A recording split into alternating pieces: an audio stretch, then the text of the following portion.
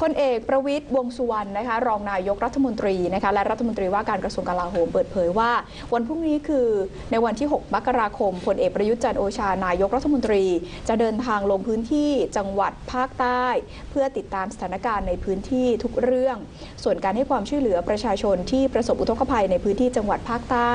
ขณะนี้นั้น นายกรัฐมนตรีจะเป็นผู้สั่งการแก้ไขด้วยตนเอง นอกจากนี้พลเอกประวิตยปฏิเสธที่จะกล่าวถึงกรณีที่นางสาวยิ่งลักษษ์ชินวัตรอดีตนายกรัฐมนตรีต้องการให้เจ้าหน้าที่ที่เดินทางไปติดตามตนเองในระหว่างการเดินทางไปในพื้นที่ต่างๆ แสดงตัว โดยระบุว่าเรื่องดังกล่าวนั้นได้จบไปแล้วค่ะ